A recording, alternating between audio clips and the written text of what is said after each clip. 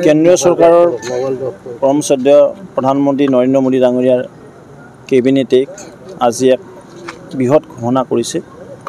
আৰু যিটো প্ৰাক্তন মহামহিম ৰাষ্ট্ৰপতি ৰামনাথ কোবিন্দ ডাঙৰীয়াৰ অধ্যক্ষতাত এখন কমিটি গঠন কৰিছিল আৰু কমিটিৰ প্ৰতিবেদন মৰ্মে সেই কমিটিৰ ৰিকমেণ্ডেশ্যন মতে আজি কেবিনেটে সিদ্ধান্ত লৈছে যে ওৱান নেশ্যন ওৱান ইলেকশ্যন এক দেশ এক নিৰ্বাচন। আৰু আমিও আদৰণি জনাইছোঁ। ওৱান নেশ্যন ওৱান ইলেকশ্যন হ'লে এক্সপেণ্ডিচাৰটো বহুত লাঘৱ হৈ যাব। আৰু দেশখনৰ কাৰণে এইটো মংগলদায়ক কথা। সেইকাৰণে মই দেশৰ সন্মানীয় প্ৰধানমন্ত্ৰী মোদী ডাঙৰীয়াক ধন্যবাদ জ্ঞাপন আৰু তেখেতৰ কেবিনেটক ধন্যবাদ জনাইছোঁ। কেন্দ্ৰীয় চৰকাৰৰ পৰম শ্ৰদ্ধেয় প্ৰধানমন্ত্ৰী নৰেন্দ্ৰ মোদী ডাঙৰীয়াৰ কেবিনেটে আজি এক বৃহৎ ঘোষণা কৰিছে।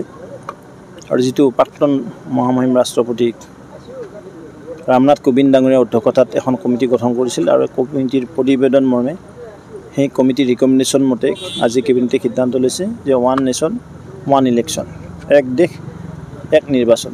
আৰু আমিও আদৰণি জনাইছোঁ। ওৱান নেশ্যন ওৱান ইলেকশ্যন হ'লে এক্সপেণ্ডিচাৰটো বহুত লাঘৱ হৈ যাব। আৰু দেশখনৰ কাৰণে এইটো মংগলদায়ক কথা। সেইকাৰণে মই দেশৰ সন্মানীয় প্ৰধানমন্ত্ৰী মোদী ডাঙৰীয়াক ধন্যবাদ জ্ঞাপন আৰু তেখেতৰ কেবিনেটক ধন্যবাদ জনাইছোঁ। আপুনি বিচৰা বাতৰি পাব কেৱল নিউজ এইটিন এপত।